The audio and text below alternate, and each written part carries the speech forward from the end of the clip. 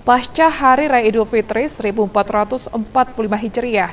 Pemerintah Provinsi Jambi akan melaksanakan apel kedisiplinan ASN pada Selasa 16 April 2024. Apel bersama tersebut akan dipimpin langsung oleh Gubernur Jambi Haris di lapangan depan kantor Gubernur Jambi. Berdasarkan ketetapan SKB 3 Menteri, libur lebaran Idul Fitri 2024 berakhir tanggal 15 April 2024 sehingga pada 16 April dijadwalkan sudah kembali masuk kerja. Untuk itu, seluruh ASN diminta untuk mengikuti apel bersama yang akan dipimpin langsung Gubernur Jambi Al-Haris di lapangan depan kantor Gubernur Jambi selasa pagi.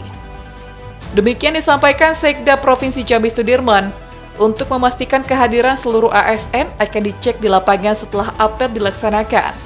Dalam rangka penegakan disiplin pegawai aparatur sipil negara di lingkup pemerintah Provinsi Jambi, pasca Hari Raya Idul Fitri 1445 Hijriah tahun 2024. Sudirman mengungkapkan pada hari pertama masuk kerja nantinya akan dilakukan sidak dan dilanjutkan dengan halal bihalal.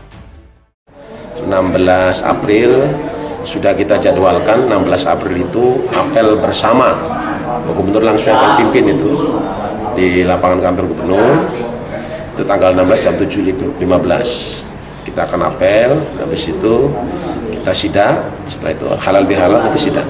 Ya, jadi kita untuk memastikan bahwa libur panjang itu tidak diperpanjang.